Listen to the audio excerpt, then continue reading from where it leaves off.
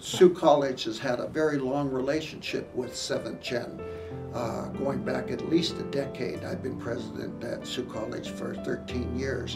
In partnership with 7th Gen, we've offered a variety of certificates uh, and two-year diplomas. We've offered certificates in Anishinaabe uh, language and human resources.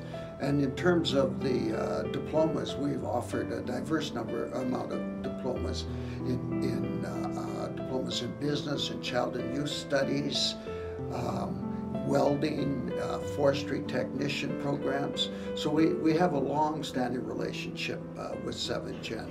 And I'm in the esthetician program.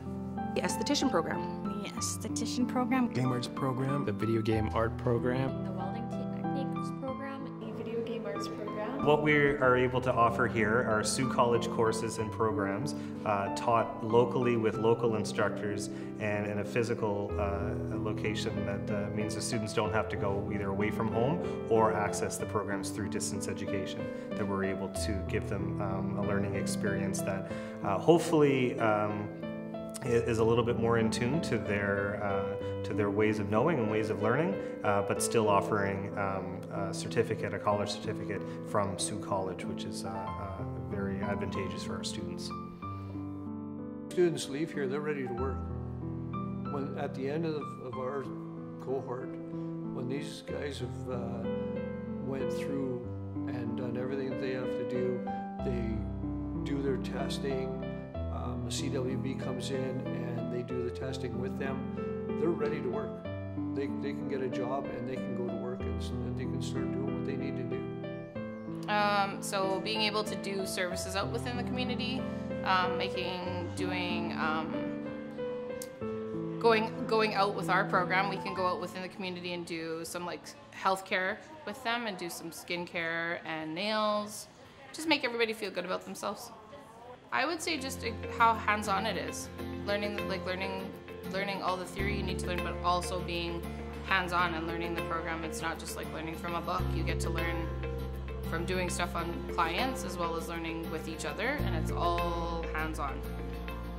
Seven Generations, we came into being in 1985 as, uh, and we're governed by the 10 First Nation communities that immediately surround Fort Frances and the Treaty 3 territory.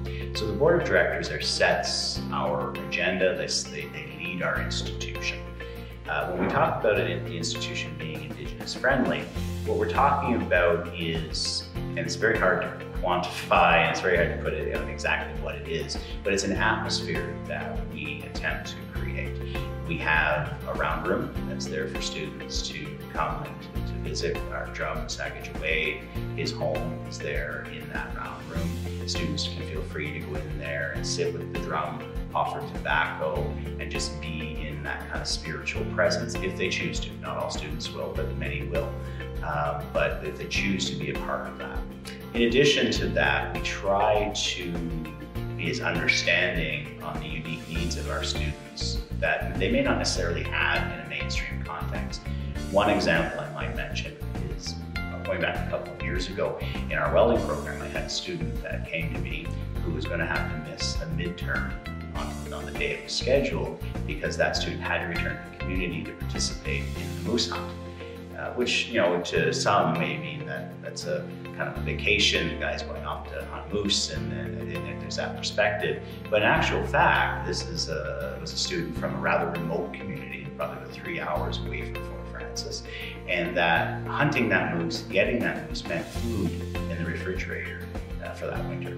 And so when I talk about being Indigenous friendly, that's the kind of understanding that we bring to education and working with our learners.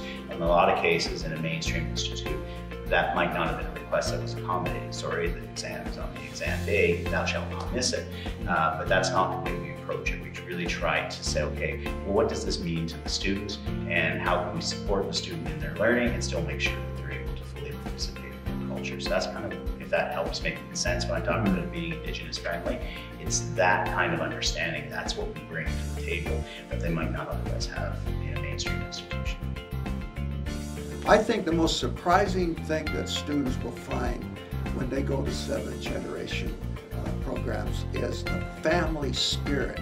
People care about them, and there is a high level of student support because they will receive support so that they succeed. And I think that'll come as a surprise to them, but they will get support and they will succeed.